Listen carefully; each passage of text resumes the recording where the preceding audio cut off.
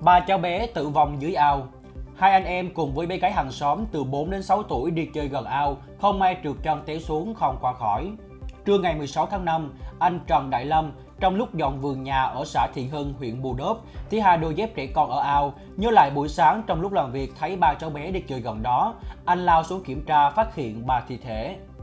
Ao xảy ra tai nạn rộng khoảng 50 m2, sâu 3 m. Tại vị trí hai đôi dép, công an phát hiện vết trượt dài từ trên bờ xuống ao. Hiện cơ quan chức năng đã bàn giao thi thể ba cháu bé cho gia đình tổ chức an táng, đồng thời tiếp tục điều tra nguyên nhân vụ việc. Từ đầu tháng 5 đến nay, Bình Phước xảy ra 4 vụ tai nạn khiến 10 trẻ chết đuối. Ngoài ba cháu bé trên, còn 4 học sinh lớp 11, một học sinh lớp 3 và hai học sinh lớp 9 gặp nạn.